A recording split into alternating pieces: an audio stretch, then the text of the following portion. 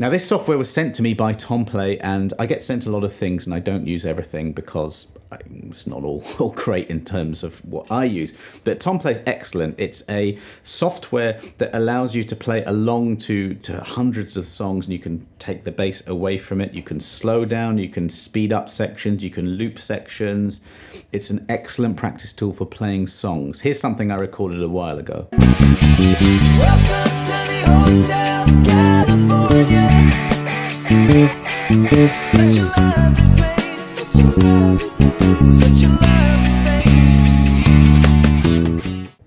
So it's got the notes, it's got the tab, so it's it's got the chord symbols above, so you can actually make up your own bass lines. You don't need to follow the the written ones. I, it's excellent for creativity. If you want to be a session player, you can you know make up your own bass lines to existing songs. It's fantastic.